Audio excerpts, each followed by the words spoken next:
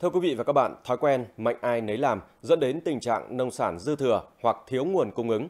Thực trạng này đang dần được khắc phục khi lực lượng khuyến nông cơ sở đang cùng bà con nông dân tổ chức lại sản xuất đáp ứng yêu cầu của thị trường. Cách làm của khuyến nông viên ở Bắc Hà là một ví dụ.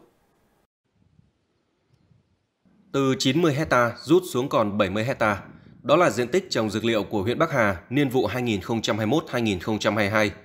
Giảm diện tích là để tránh tình trạng dư thừa khi các công ty dược không thể tiêu thụ hết và đúng với quy hoạch vùng sản xuất của huyện. Để làm được việc này, anh Trần Văn Sơn đã đến từng hộ giải thích để người dân đồng thuận.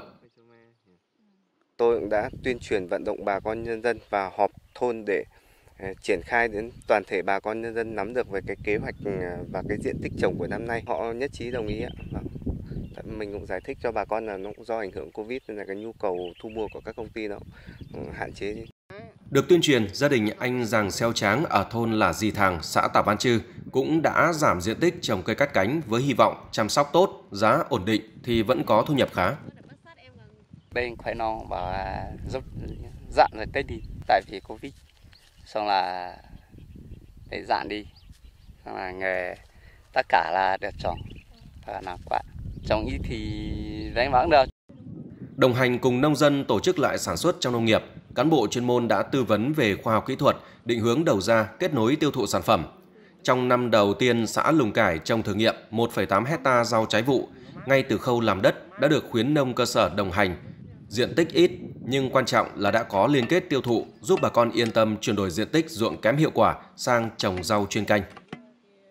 Cán bộ khuyến nông bảo trồng rau, họ bảo làm đất, trồng rau có người mua. Ruộng này trồng lúa, giờ trồng rau chắc tốt hơn đấy. Khuyến nông viên là cái người là cầu nối là à, hướng dẫn cũng như là tuyên truyền vận động cho người dân là à, nên tập trung vào à, trồng cây gì và nuôi con gì để nó có cái ê, giá trị sản phẩm cao nhất. Hiện nay Trung tâm Dịch vụ Nông nghiệp ký hợp đồng liên kết được với lại 6 công ty tiêu thụ cho bà con nhân dân. Hiện toàn bộ vùng sản xuất nông nghiệp chủ lực của Bắc Hà đều có liên kết tiêu thụ sản phẩm. Khi được tổ chức lại sản xuất sát với nhu cầu thực tế, nông sản Bắc Hà đang có thị trường ổn định, hướng đến mục tiêu đạt 100 triệu đồng mỗi hecta canh tác vào năm 2025.